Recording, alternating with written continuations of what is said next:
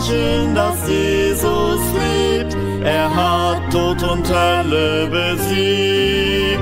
Sein triumphales, siegreiches Auferstehen wird überall bekannt. Was heißt dieses Zeichen dort an dem Grab?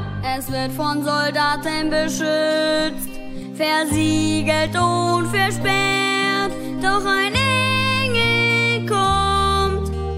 Rollt diesen Stein zurück. All das sind Zeichen, dass Jesus lebt. Er hat Tod und Hölle besiegt. Sein triumphales, siegreiches Auferstehen wird überall bekannt. Was heißt dieses Zeichen? Leer ist das Grab und Jesus liegt